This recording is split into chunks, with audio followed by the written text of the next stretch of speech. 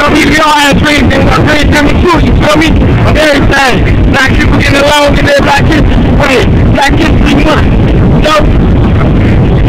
Yeah, yeah. What you about?